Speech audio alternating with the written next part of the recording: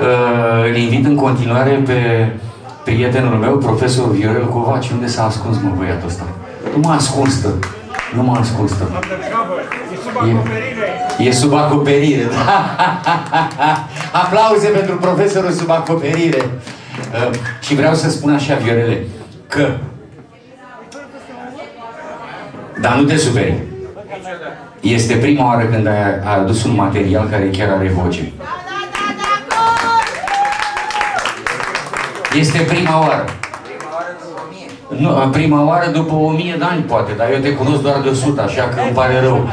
Uh, și dacă tot, uh, uh, dacă tot uh, am ajuns la chestia asta, aș vrea să-i dau un sfat. Eu mă ocup cu, cu sârmele, ai văzut, cu cablurile mă ocup, da?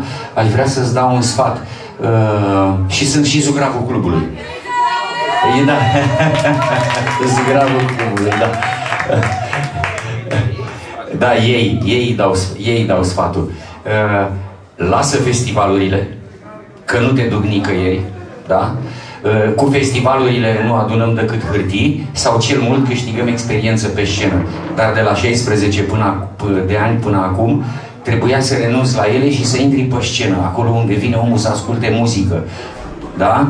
Asta e una la mână. Și doi, te-aș mai sfătui un pic să te îndrepți către mileniul 3 cu interpretarea aia, ca ai un pas până a putea ieși pe piață, dar, dar dacă tot ca la mamaia, da? Ok? Bine, profesorul Viorel Covaci, ia să vedem, iar mă dăm bâlbăială cu Kennedy astăzi. Nu, bună seara! Bună seara! Să-i răspund. Uh, ai o optică greșită. În primul rând, eu particip aici la grupul A, așa am înțeles eu, ca să te determin să dai mai încet boxele, că ne faci să urâm muzica până la urmă. Ne... Da? Ei, atunci le dai mai tare când vorbesc eu. Uh, numai un pic, numai un pic. Uh, ar trebui și profesorul Hirul Cova să intre în mileniu 3.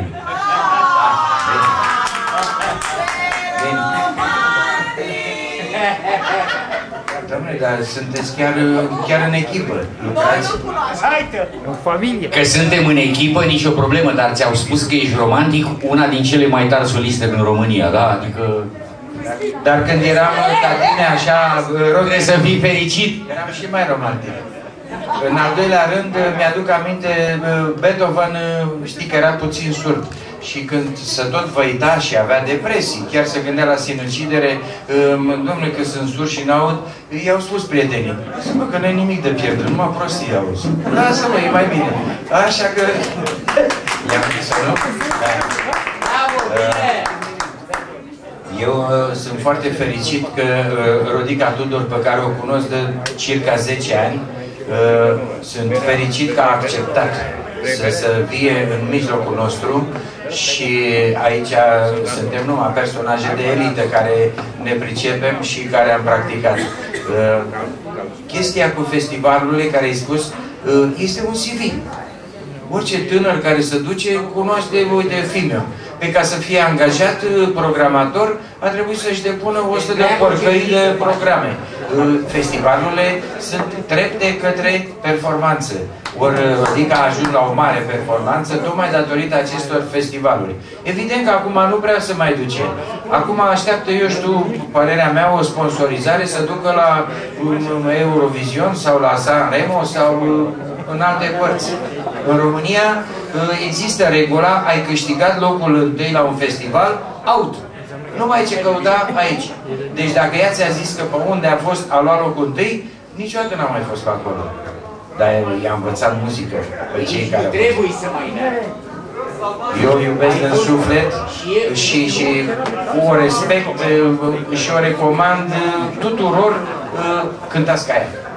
Da?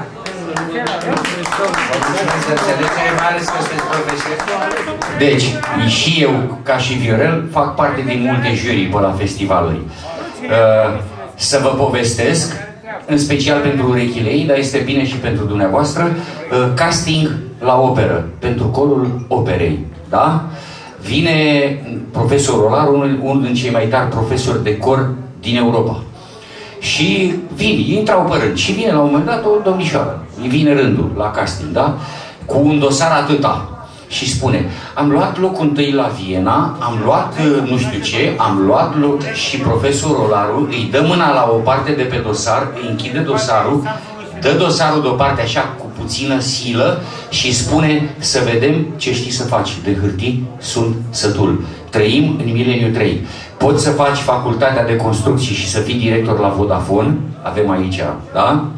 Să fii unul, de, un, unul din oamenii baza ai Vodafonului, sau uh, uh, uh, poți să faci uh, uh, am un, prieten, am un prieten care nu are decât 10 clase și este specialist în calculatoare. Deci, lăsați festivalurile pentru când sunteți copii și mergeți pe scenă și cântați. Ai făcut foarte bine și el foarte bine îl felicit că te-ai invitat aici, pentru că sunt numai oameni de muzică și de radio.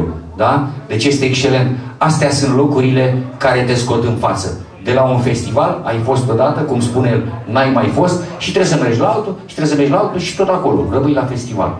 Da?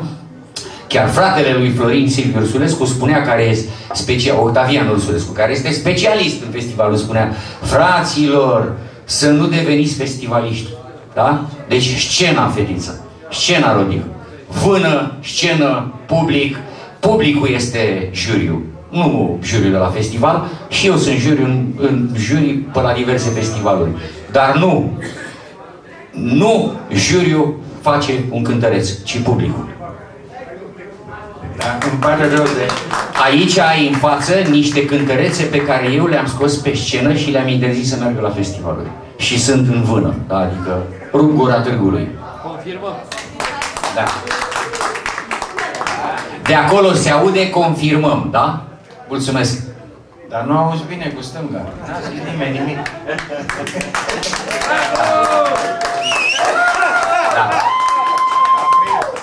este un punct de vedere, nu înseamnă că e obligatoriu să-l îmbrățișăm cu toții. Nu te supăra, așa e în democrație.